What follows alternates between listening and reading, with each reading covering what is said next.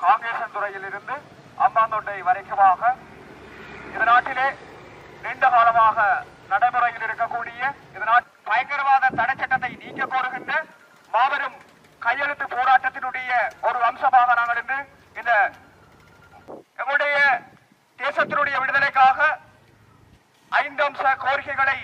நல்லூர் ஆலயத்தினுடைய முன்னிலை வைத்து பாரத தேசத்திடம் நீதி கட்டிருந்த எங்களுடைய அன்புக்குரிய எங்களுடைய தியாகி லெப்டினன்ட் கர்னல் திலீவன் அண்ணனுடைய முப்பத்தி ஐந்தாவது ஆண்டு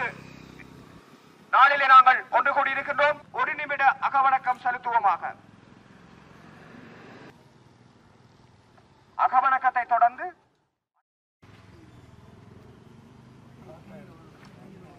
தொடர்ச்சியான